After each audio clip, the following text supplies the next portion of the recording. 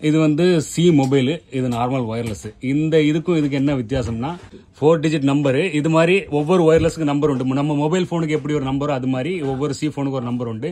அந்த நம்பருக்கு நம்ம டேரெக்டாகவே கால் பண்ணி ஒரு கிட்டத்தட்ட ஒரு நாற்பத்தஞ்சு நாடிக்கு நாட்டிகள் வரைக்கும் ரேடியஸ் இருக்கும். அது வரைக்கும் நம்ம ஃபோன் பண்ணி பேசுகிற மாதிரி பேசிக்கலாம். இது அந்த ரீசார்ஜ் பண்ணுற மாதிரி தான். இதுவும் அந்த மாதிரி தான்.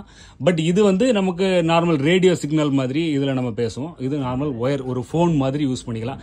அது வந்து இந்த கொல்லம் சைடில் வந்து அதிகமாக நிறைய போட்டில் வந்து இந்த சி மொபைல் யூஸ் பண்ணுவாங்க.